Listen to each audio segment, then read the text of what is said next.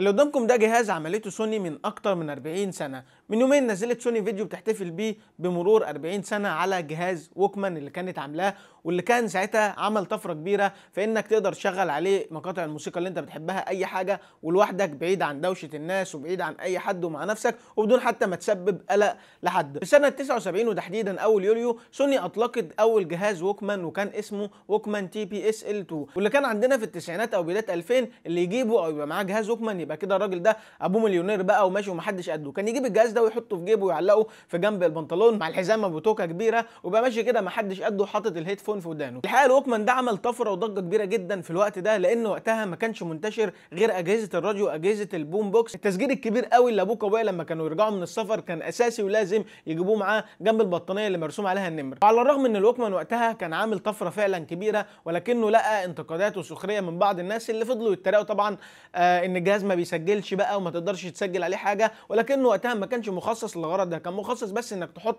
آه أو تسمع التراكات اللي أنت بتحبها. وعلى مدار الأيام والشهور والسنين فضلت سوني تطور وتعمل أشكال وتقنيات كتير من جهاز ال Walkman فما كانش مقتصر على شرايط الكاسيت بس. ومن سنتين بالظبط رجعت لنا سوني في معرض الإلكترونيات الاستهلاكية اللي هو CES 2017 بجهاز Walkman جديد اسمه Walkman NW-A35 ال Walkman ده كان بيدعم أغلب الصيغ الصوتية المعروفة وبجودات عالية وبشاشة touch وفيه ذاكرة 16 جيجا وممكن تضيف فيه كارت memory لو حابب عشان يواكب التطور طبعا اللي بيحصل حوالينا في التكنولوجيا. صحيح بقى النهارده أي حد معاه موبايل يقدر يحط عليه مقاطع الصوت اللي هو حابب يسمعها وبجودات مختلفة ويعيش مع ال hand free لكن الفضل يرجع لشركة سوني اللي لها طعم خاص بسبب جهاز ال Walkman. حاجة كده خد يا عم اعمل اللي انت عاوزه مع نفسك بدون ما تغلس على حد أو حد يغلس عليك. فدي حاجة من الذاكرة ما أعتقدش إن الجيل الجديد كان يسمع عنها فحبيت إن أنا أشاركها معاكم. والناس الجميلة بقى جيل الثمانينات أو جيل 90 زي حالاتي كده عاوز اعرف أنتوا كنتوا بتستعملوا جهاز ال Walkman ده ولا ما كنتوش تعرفوه أصلا؟ ولا كنتوا عارفينه ما كنتوش مهتمين بانكم تستعملوا جهاز